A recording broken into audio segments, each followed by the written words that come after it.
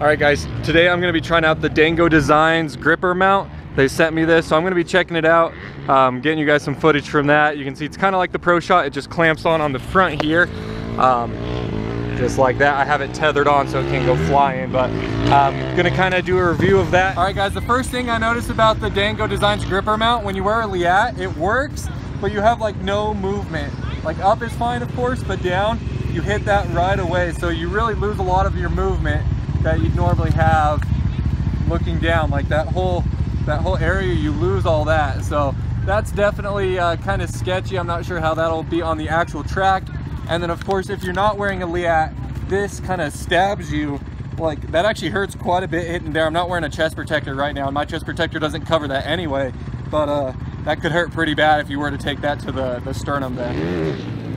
All right guys, so after riding with the Dango Designs gripper mount, I'm actually pretty impressed. Like I showed you earlier, um, this part hits the Leatt, and if you're not wearing a Leatt, it'll hit you in the chest right here, which would be really bad if you were to crash and hit or like that, but I thought it was gonna really limit my movement. I didn't even notice it after I got riding. I'm sure there's uh, people who are a lot pickier than myself who would pick up on that kind of stuff, but I honestly didn't didn't notice that little part hanging down hitting my Leatt. So um, that was cool, I was pretty happy with that, but pretty versatile. Um, I'll have to show you guys what else it can do. It's still tethered to my helmet, but you can actually push this in uh, and change where the camera's angled and stuff. So you could grip this like onto um, a counter or onto your truck tailgate or something like that if you were trying to get some other angles. And then of course it's really cool because let's say if Tony here, he was riding today and he wanted to use the mount, all I'd have to do was unclip it from my helmet, give it to him, and he could put it on his, his helmet. So um, I was kind of worried about how it would work with the Leatt, but it works a lot better than I was expecting it to and just mounts right up like that. So I do have the adapter kit, which I will talk about a little bit more, just to get the camera a little bit further away. I think if you just ran it straight on the orange part, you wouldn't be able to lean it back far enough, then the camera would be aimed down. Because if you're thinking about it when you're riding, you're not gonna be looking straight, you're probably gonna be looking down some. So you want the camera angled back if you have it down here, you're not gonna be able to come back far enough. So I would recommend getting the adapter uh, pieces that Dango sells, but um, overall, pretty sweet. Um, can't wait to check out the footage with it.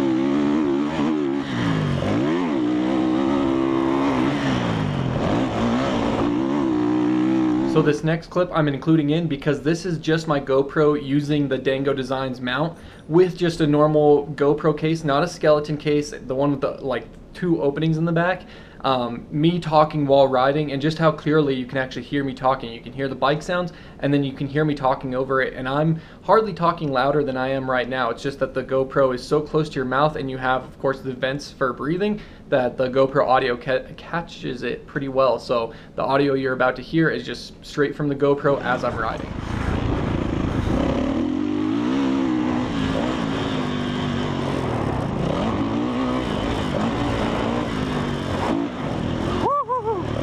that could have been bad. That was almost an Eli-Tomac crash there. Being here at uh, Lakewood. And it's always a fun one for me to try to throw whips on. I, I realize I don't throw huge whips or anything, but uh, they've definitely gotten better over the years. But uh, I just kind of like to sit down up the face and just throw the back end out. So I'm gonna try and do that again and maybe give, uh, give it an old look over to the rear fender.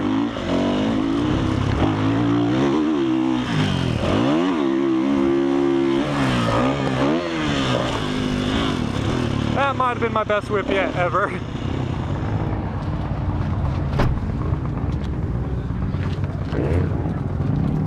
Since you can clip this on pretty much anywhere, you can get some pretty unique shots like this. Set it on there and then take your step up on the stand or, you know, you could unclip it and clip it on. Obviously this probably wouldn't work, but clip it on there. It's uh, very versatile how you can clip it pretty much anywhere you want to get a cool shot. Or you can just kind of set it up and it'll hold it just fine like that. So pretty sick what you can do with it. I like that it's a very versatile mount.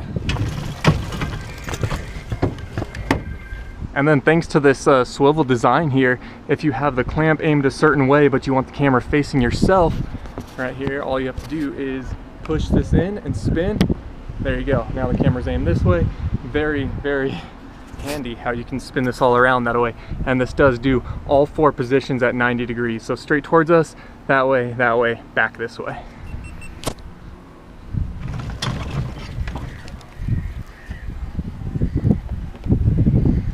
I'm still filming my uh, evening with DeeO right now, and I gotta say, this Dango Designs mount, I can do so much with.